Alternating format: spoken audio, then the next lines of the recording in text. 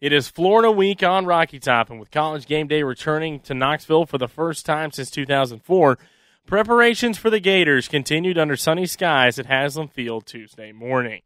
Head coach Derek Dooley said this game will be about two teams that like opposite tempos.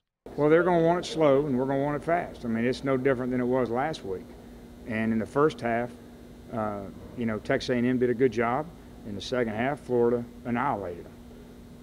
You know, so one of the keys is you get first downs. I mean, if you go three and out, and that's what happened in the second half. Florida's defense, I think the first four possessions of the second half, it was three and out. Well, it's hard. You ain't gonna control the tempo when that happens. You got you got to get the ball moving. I mean, we lost. You know, we we those, those things don't matter unless you talk about it and you it, it you make it matter. They don't. What matters is what team's going to show up and play for 60 minutes in the, you know in the best possible manner. That's all that matters. The streak has nothing to do with it, unless you think it does. If you think it does, then it does. You know, it's like the what is it? Who was it? Nuke LaLoosh. I mean, if he thinks he's pitching good because he's wearing the garter, he is pitching good because he's wearing the garter.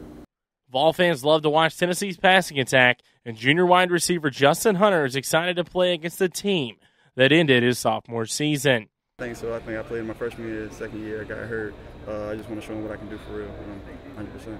Um, yeah, I, I, seen fans here uh, already. Um, you know, it's college game day. You know, fans excited and everything. But I think uh, the whole team just preparation is the same as always.